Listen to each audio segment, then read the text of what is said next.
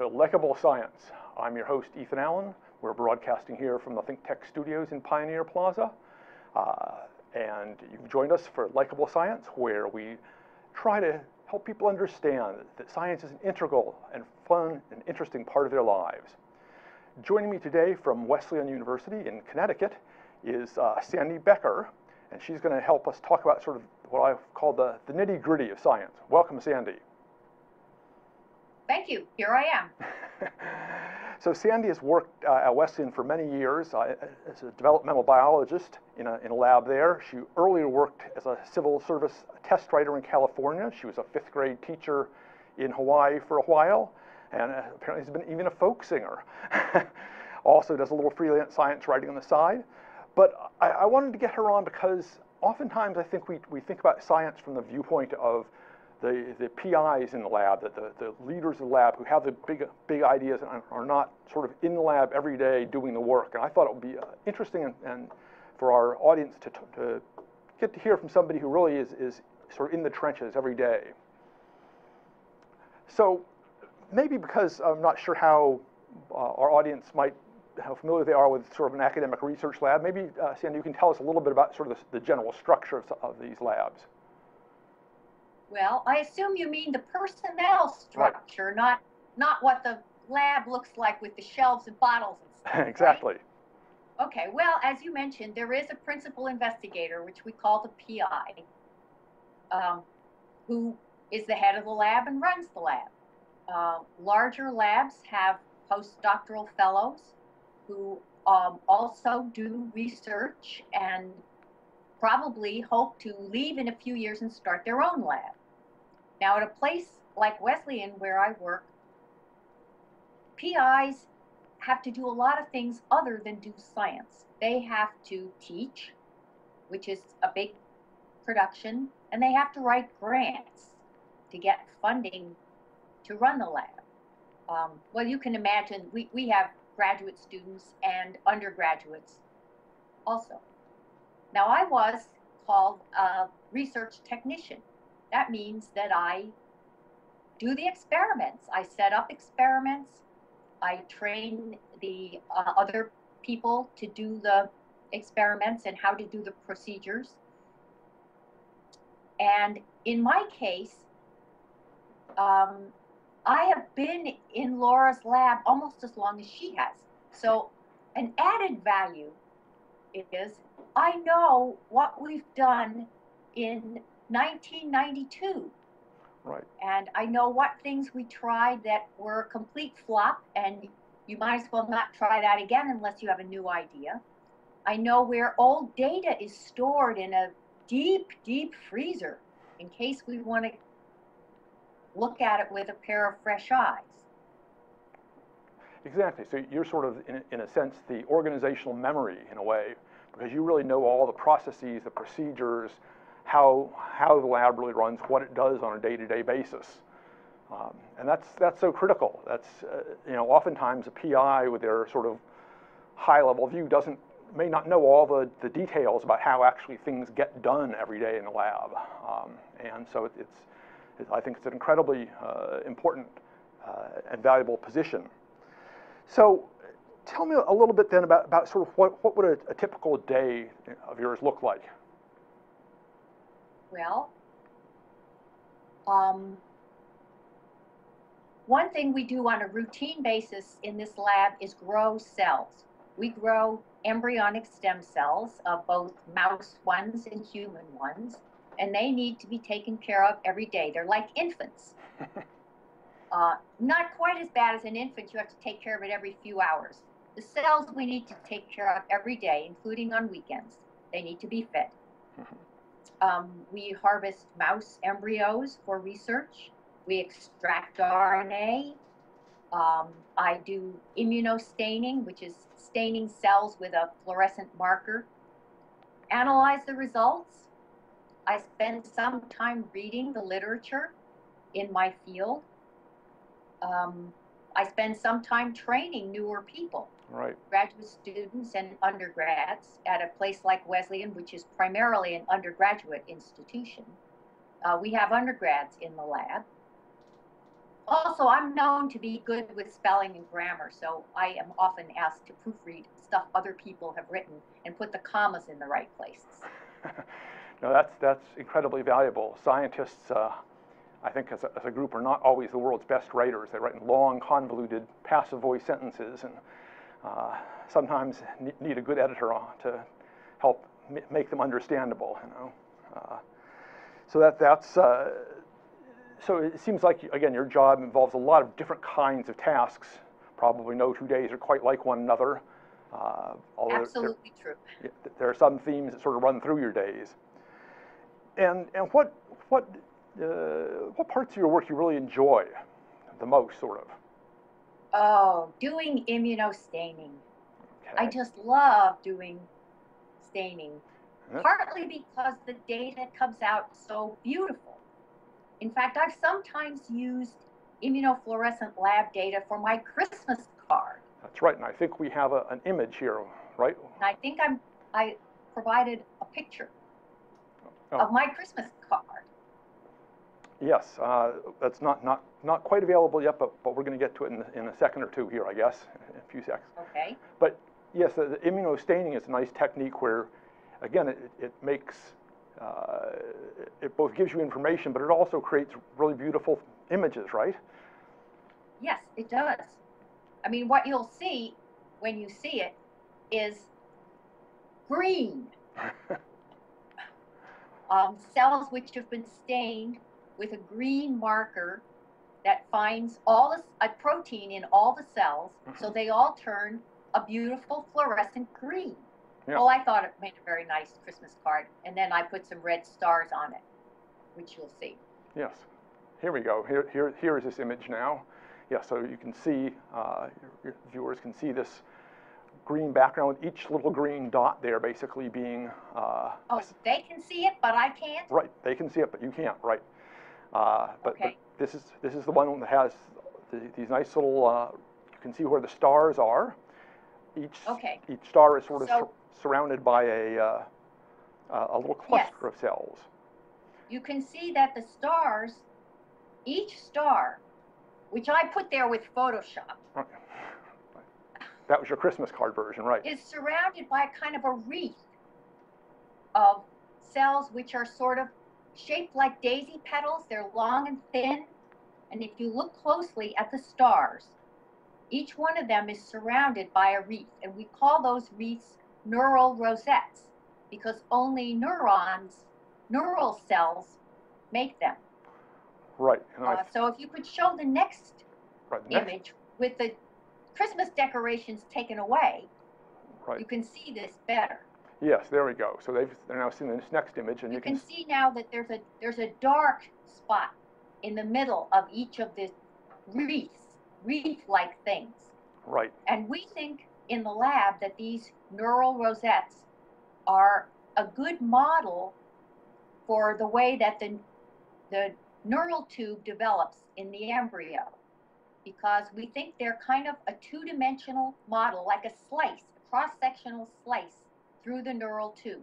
Hmm. And we use the cells growing in the dish as a model for the way that the neural tube develops. Right. So this is looking at very, very early growth of the nervous system then, the, yes. the very earliest stages. Yes, quite early stages in the embryo. Right. And of course, that's it's a huge issue is how something as complex as the nervous system develops from a, a, an embryo with only a few cells. And you're looking at a very interesting uh, early stage there where there's just enough cells are starting to change and split into different roles. And so those, that, those cells have changed in their form, the, that elongate shape that you referred to, and are beginning to take on a specialized function now. Yes. Yeah, well, I've explained it to you. I hope I've explained it to the rest of the audience. in, indeed, indeed. That's, that's great. So, um, beyond uh, uh, working in an in a academic lab, you've also spent time in, uh, in a in, uh, commercial laboratory. And I, am wondering about, again, there's, this gives you some very interesting background that uh, uh, many people do not have. And, and can you maybe talk a little bit about sort of the, the differences, how, how, how the two experiences compare? Well, it was pretty different. I did spend three years in uh, working for a small biotech company in Massachusetts. And one thing is definitely true they paid me a ton more money, like twice as much money, plus stock options. uh-huh.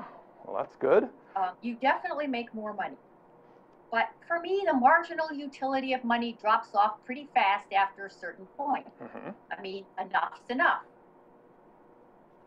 And the work is different, and for me, it wasn't as much fun, so I came back to Laura's lab at Wesley. See, the purpose of a company is to make money. Right. And the best way for a biotech company to make money is to come up with something that has a medical value, that's medically useful, Right. So what were like you working a on? cure for macular degeneration. That was what they were working on. And they may do it. Mhm. And I hope they do because I still own stock in that company. There we go. Um, but the role of a scientist is to find stuff out.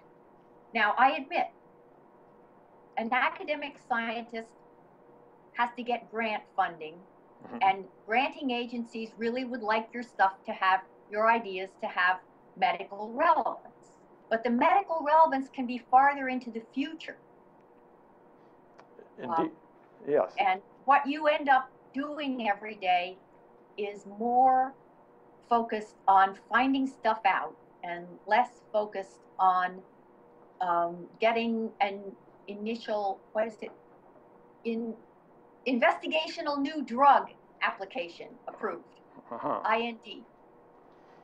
Yeah, so there's uh, sort of, in a sense, a more freedom in, in an academic lab to pursue the interesting questions that arise, right? Yes, Because, because you never know. I mean, the, the whole nature of experiments is you don't, you don't know the outcome at the start. And so when you get a puzzling outcome, you, you may pers- pursue it one way or, or follow it follow differently. Whereas in a more uh, sort of a, a product-driven laboratory, you, you don't have that freedom always. You're always looking to get to the same spot to, to get your IND application out, right? yeah, that's. Yeah, so that, that, that freedom is, is indeed a, a real plus of the academic world, uh, to, to go where the, where the experiments take you, as it were. I, I agree. Right, and that, that must be, in a sense, one of the, one of the, again, one of the very nice points about your, uh, your role, because you are very, uh, very close to the data, because you, you set, you set up the experiments, you run the experiments, you train the students to run the experiments, you get to see the data sort of as it rolls off, uh, and can tell right away in some cases, I'm sure, like this is very, this is interesting data, it, it confirms my ideas, or it's very interesting because it, it goes against what we were expecting, right? Yes, that, that's an important feature of my job rather than the PI's job. I get to see the data directly. And the PI is too busy writing grants and teaching, among other things, to get to look at all the data first. Um, the PI is kind of dependent on me and the students, other people in the lab, postdocs if there are any, to tell them about the data. Exactly. So they get it sort of secondhand. exactly. So, you, right, you're, you're, you have that firsthand uh, look at it, and that, that's a wonderful thing. So we're gonna we're gonna take a little break right now. Uh, I'm uh, your host Ethan Allen on Likable Science. Uh, I'm talking today with Sandy Becker from Wesleyan University. She's a developmental biologist there, and we're talking about the nitty gritty of doing science. And we'll be right back. Hi, I'm Donna Blanchard. I'm the host of Center Stage here on the Think Tech Digital series. The show is every Wednesday from 2 o'clock to 3 o'clock, and I want you to watch this show because I think that when we talk with artists on the show about what they do, how they do it, and most importantly, why they do it, I believe that it resonates within each of us, and we find something inside of ourselves that brings us closer to all of humanity. That's what arts are there to do, and that's what I'm here to do on this show. That's Center Stage. It's on every Wednesday from 2 to 3 o'clock. I hope to see you there. And you're back on Likable Science. I'm your host, Ethan Allen. We're talking about the nitty gritty of science today. And with me via Skype is Sandy Becker, a developmental biologist from Wesleyan University. She uh, is a, key sort of organizational memory, uh, being a research technician in her laboratory there. She has, uh, knows where uh, all the data is stored, knows where uh, the procedures that have worked, the ones that haven't worked, who's been through the lab, what lab has done successfully, uh, and all that kind of good stuff. But before you became a, uh, before you got into your uh, developmental biology work, Sandy, you had also uh, been a teacher for a while, and that's a rather different role. But you had you had a sort of an interesting experience in, in a sense, I gather, that sort of gave you a little foretaste of science with, uh, when you were working. Uh, I I did. Um, I mean, one of the big differences between doing science and teaching anything, including science, is at least at the level I was at. I was teaching fifth grade. And in fifth grade, you kind of assume that the teacher knows stuff and the kids are there to learn stuff. And you don't do a lot of let's find this out together kinds of things. But in my class, we ended up accidentally doing a let's find it out kind of experiment. Uh, my husband, who was then in medical school, brought home a pair of mice from the school. Uh, the male mouse was mouse colored, you know, kind of grayish, the way mice are. Mm-hmm. And the female mouse was white, like lab mice often are. So I thought, fine, I'll take these mice to school and we'll start a little mouse colony and we'll do genetics experiments, mm-hmm. just like Gregor Mendel and his bees. exactly.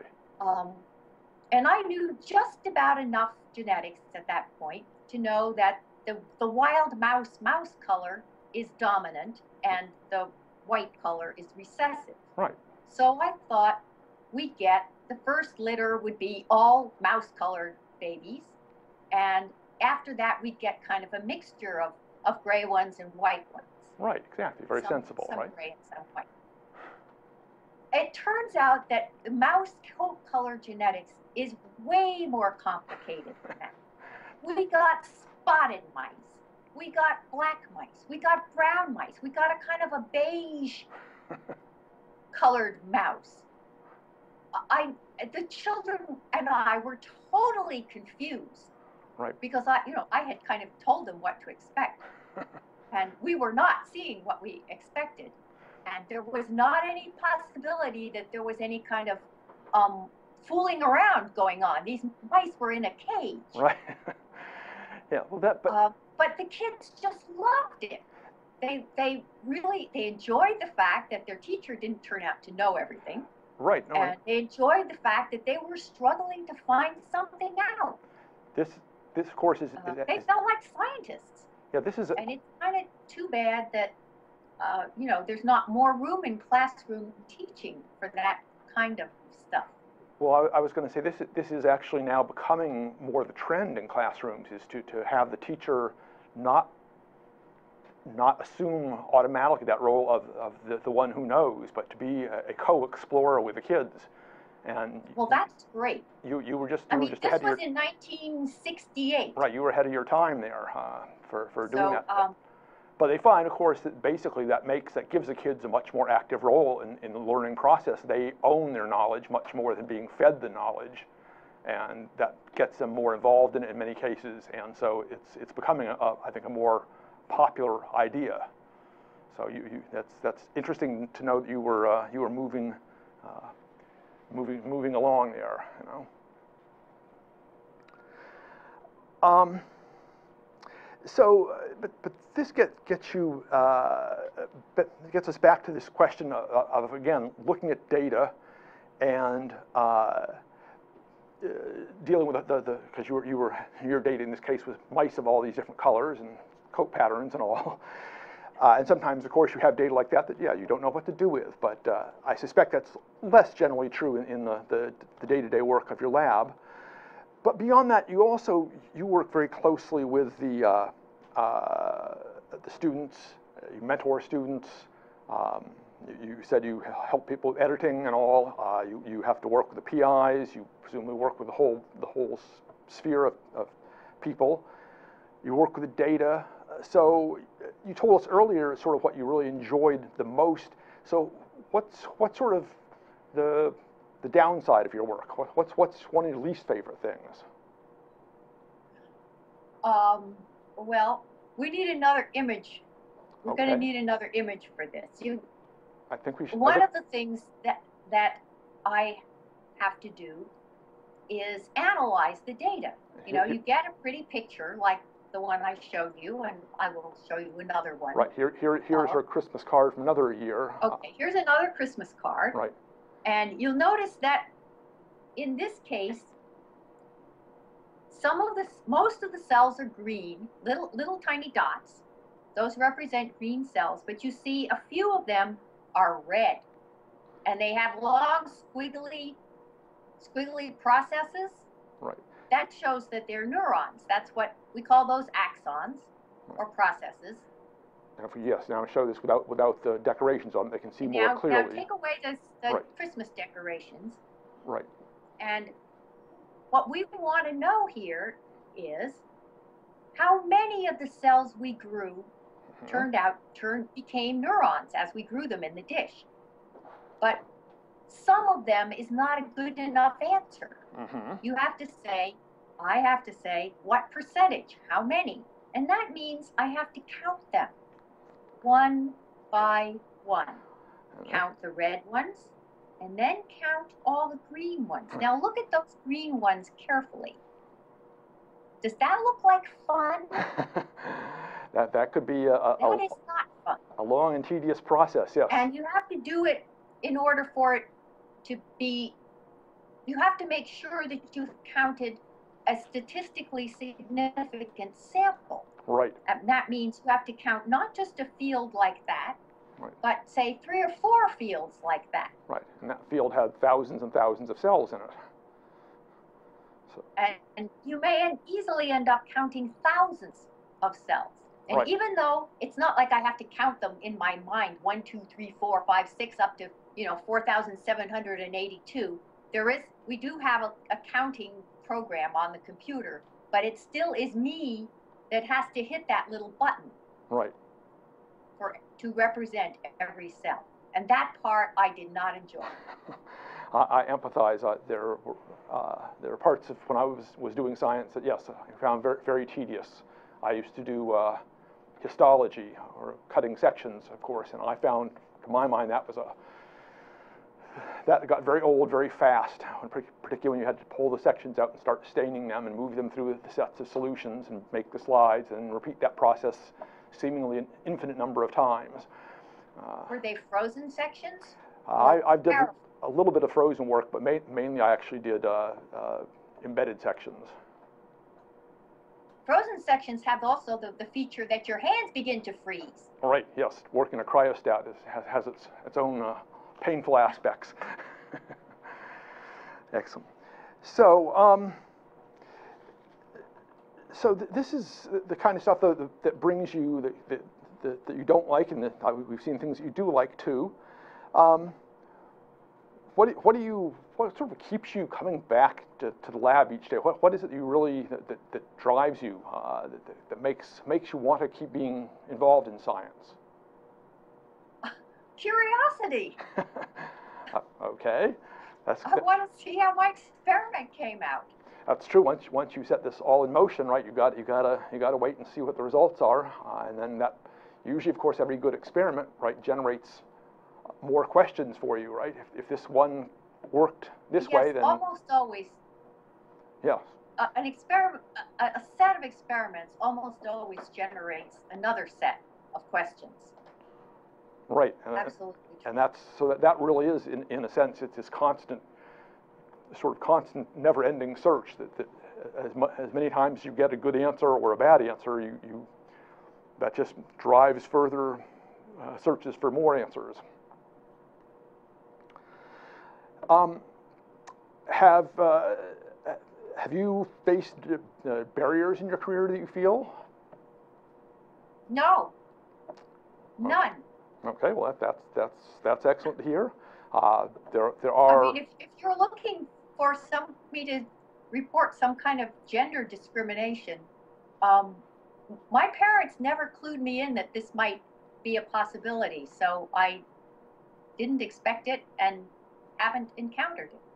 no, that's, that's wonderful. And I've heard other people comment sort of the same thing. If, if you have sort of good role models and, and good, uh, good parenting in early age where the, doors are always open and you know the doors to your learning are, are essentially boundless, that yes, you, you seem less likely to encounter these. Uh, but it, not, nonetheless, uh, in science, not so much in biology, but in many fields of science, women are significantly underrepresented and, and apparently do get closed out at, at some level in some way. Uh, through, through whatever, whatever forces may be. Uh, but uh, that's, that's a whole, I guess, a whole different, different topic there. Um, it's, it's certainly, certainly uh, true in computer science and engineering. Um, so, uh, let, sort of, let's briefly start looking ahead here. Where do, where do you see sort of academic research going? How do you see it changing in the future? Well, I'm pretty sure there's going to be more and more of the work being done by computers. Mm-hmm. And uh, while it's great in many ways to have computers doing stuff that they can do in some time, some ways better than we can, we humans, still, I have a concern that computers are a garbage in, garbage out kind of situation. And I think it's important for the, the ultimate responsibility for putting the right, asking the right questions still lies with us. Right, right. The, the, the PI has to sort of frame the question and know it's a reasonable question, and along with the other staff in the lab, be able to look at the results and sort of say, yes, these are reasonable results, or no, these aren't, and frame all that out because the computer really can't do that part of the work. Uh, but computers, of course, and, and, lab automation in the broader sense has, has, been absolutely invaluable, of course, in the progress of science. Uh, the, all the genetics work could never have been done if, if people, if students were still there individually by hand, uh, pulling out DNA and sequencing chromosomes one at a time laboriously over years, right? Uh, right. Uh, so, so in that sense, it, has been a, very powerful, uh, uh, very powerful aid to to, uh, to science. But you, you, I mean, you're quite right. It, it's it always needs to be watched rather closely, and to be sure that the uh, the lab automation, the computing power is sort of serving the science well, helping address the, the, the key questions, being overcoming as or the, the, the barriers may limit us our speed, our coordination, our uh, visual acuity, what have you, um, and uh, that it's not just generating random data in a sense, right? So um, this is great. We are uh, at a point where we're going to take another break here in just, just a moment, and then we're going to come back and uh, talk a little bit more about sort of what, what you see, how you see people should be preparing for uh, careers in science and, the, your views on that since you ha you've had a, a, long and successful career in science. You're on Likable Science. I'm your host, Ethan Allen. I've been talking with Sandy Becker here about the nitty gritty of do doing science, and we're going to continue it right after a break. We'll be right back. Aloha, this is uh, Martin Despang, uh, host, co-host of the Urban Transcendence Show by Alejandra Yamashita and Martin Despang. And me being an architect and an educator in architecture, I'm really interested in that we make our uh, urban environment here in downtown Honolulu and Honolulu as exciting, invigorating, and challenging, be beautiful as our wonderful paradise natural environment. I'm going to bring in guests, we're going to bring in guests from a diversity of areas that help us to learn how we can achieve that goal that um, shouldn't be that hard to reach. So we look very much forward to see you then. Thank you. And you're back here on Likable Science. I'm your host, Ethan Allen. We're broadcasting here from the uh, Tech Studios in Pioneer Plaza. Uh, with me today, talking about the nitty gritty of science, is Sandy Becker from Wesleyan University. Sandy has uh, worked in a lab there for 35 years as a developmental biologist and uh, has a vast repertoire of experiences and expertise here. And I, I want to explore a little bit with you, Sandy, uh, about how we can get uh, students prepared to, to move into science. There are, of course, concerns that the U.S. isn't producing enough scientists these days, and um, so I just wanted to sort of get, get your think about your thinking about what sort of are the key steps that students might take to keep uh, science careers open to them. You know. Well, I certainly think they should take statistics Right. so That's they will be be able popular- to be properly uh, skeptical about statistical claims that they encounter or that they make. hmm And they should, you know, know enough math so they can mix up their solutions correctly and know when their calculator has misplaced a decimal point. Right. And I'm saying this in a kind of a testy tone of voice, you may have noticed, because we've had, you know, undergraduates, and Wesleyan is a very selective school. These are not, you know, these are very well prepared kids who don't realize when their math doesn't make sense. hmm It's really important to be able to know when your math doesn't make sense. Right. If you're, if you're supposed to add 10 milliliters of a solution to a uh, another solution, and instead you're trying to add 10 liters, it's going to make quite a difference. Right, that's a big difference. You know, in the size of beaker you need. Uh, we have a lot of devices at our disposal now, but it's up to us to, to know what to do with them and to know if they are serving us accurately. Indeed, and, and, you know, it's one of the, the things that they uh, uh, they find that our K-12 education system does not do particularly well in in math is prepare kids with that sense of sort of reasonableness, uh, uh, an, an estimation, that ability to estimate whether like, gee, that's a sensible sort of answer, or no, that that answer is utter utter and complete nonsense. You know, um, we don't tend to build that kind of, of thinking very much into our early math uh, courses, apparently. And it's, uh, you, you're pointing out it's just absolutely critical as, as, a key It's step. really important, I think. Yeah. You have to know how to add, you don't even really have to know how to add and subtract anymore because your this little gadget will do it for you. Right. But you have to know when to add and subtract. Right, and- as you say, what's, what's reasonable to, to realize that, yes, if you, if you work for, you know, $20 an hour for 10 hours, you're not going to get $2 billion. That's not a reasonable answer, right? Uh, So, but, but beyond sort of the, the formal courses here, so you said statistics, which I'm sure makes a lot of students probably moan and groan, because uh, that's never, never a popular course, and, and mathematics, which is probably about on the same level. What other sorts of, of skills do you think students should really hone, and what sorts of attitudes should they sort of work on developing that are going to get them through in science? They should learn how to cook. Learn how to cook, all right? Well, doing the actual process of doing science is a lot like cooking. You follow, we call them protocols, but they're really recipes. Right? You follow a protocol to do your experiment, but it's really just like a recipe. Huh. And when you've had some experience, then you know when you have to follow it down to the last little teaspoon or milliliter, as the case may be, and when you can sort of improvise and, you know, try a little smoked paprika instead of the ground up pepper. Mhm. Huh. So that, that, that's, that's a great one, I, I suspect. I am, I am pretty sure that some of my success as a scientist is due to being a good cook. Huh. Well, that, that, that's wonderful, and uh, that, that's certainly a, a key set of skills, certainly for, for scientists to have. And what, what about attitudes? Curiosity Well, okay, and skepticism. right? Skepticism is important, especially in the lab setting. It can be hard to maintain it because you come as a student and you are, as an undergraduate or even as a graduate student, you come into a lab and you are the newest, greenest, most ignorant person there. Mm-hmm. So it's very hard to maintain a, an attitude of saying, hey, wait a minute, that doesn't make sense.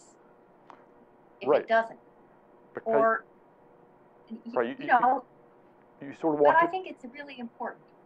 yes, you sort of, there, there's sort of a subtle pressure for you to agree with the, the, the, the sort of the, the dogma of the lab, as it were, about how, how things work, what, what should be happening, why, why the experiments are going the way they are.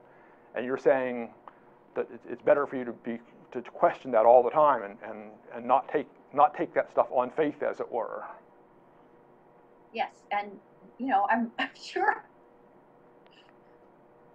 I'm sure there are people who know me who are going to watch this and, and they're going to be groaning that that I am um, leading leading people down the primrose path here, but uh,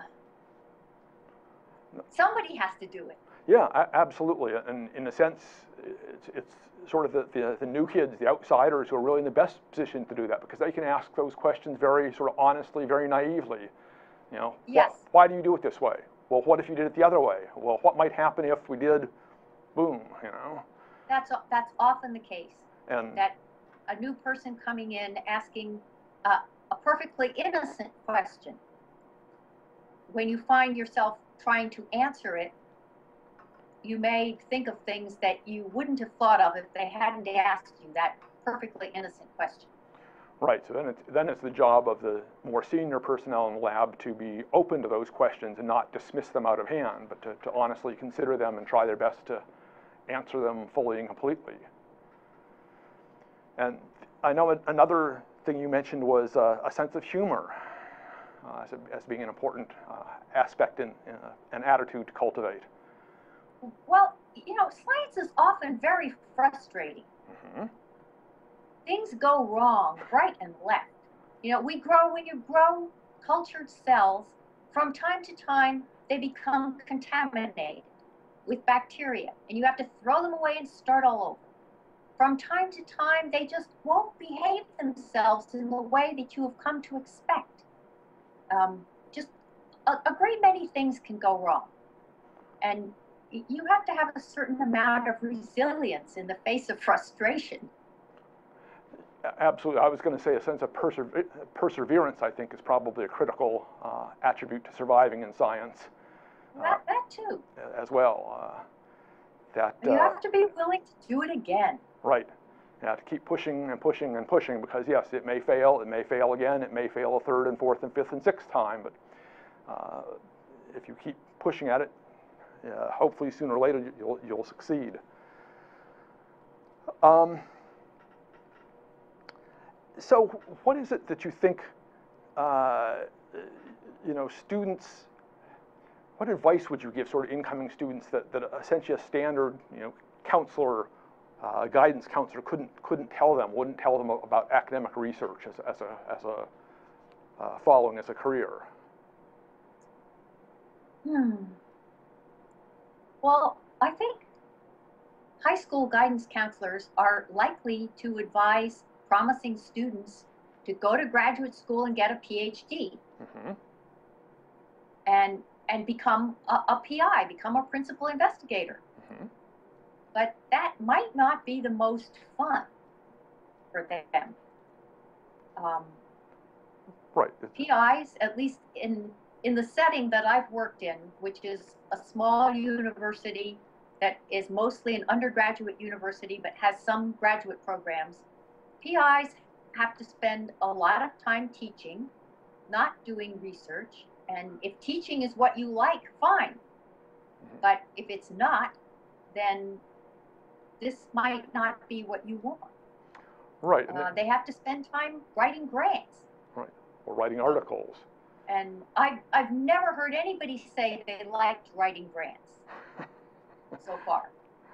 Um, sometimes writing up articles with your research, that can be sort of fun because it, you re, it makes you realize you've done it, hmm that you've come up with something that you can put into a convincing article. Right. Right. That's not so bad. mm-hmm.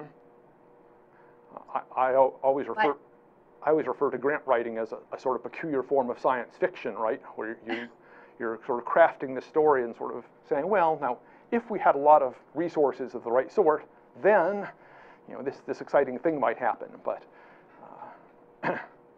But there, it's still true that the person who really gets to do the experiments is me, Right. Yeah. the technician. right, Well, the graduate students and, and postdocs, they get to do the experiments too. right, But the person who's already got the PhD and is running their own lab um, has a lot of other demands on their time. mhm, And they have to be a, a good colleague, a member, you know, they're a member of a department. right. And To serve on committees and, they have to serve on committees. yeah. okay. Uh, I, I think my job is more fun.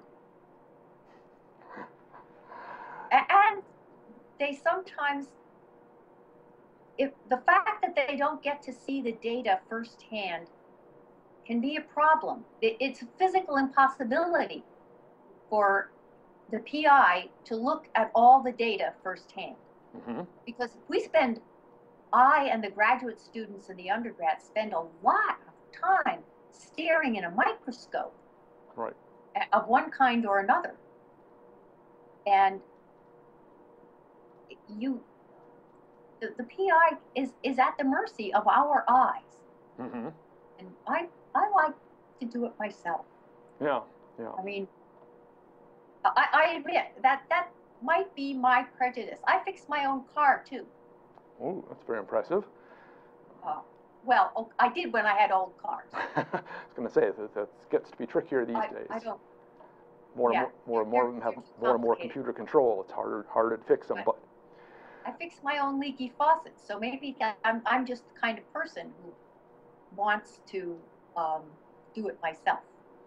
yes, indeed. Uh, It'd be, uh, uh, my, uh, my wife actually does the same thing. She, she does our plumbing and, you know, she'll fix, fix the faucets when they leak and, you know, get all that stuff done. So, uh, that's, that's interesting to hear. Um, so, if you had to give uh, aspiring students one piece of- of advice, what, what would that be, Dan? One piece of advice: One piece of advice. think like a five-year-old. okay. My five-year-old grandson, Zane, is the perfect example of the scientist, the scientific mind. Mhm. He is curious about absolutely everything, and he's not afraid to say, Hey, wait a minute, Grandma, that doesn't make sense.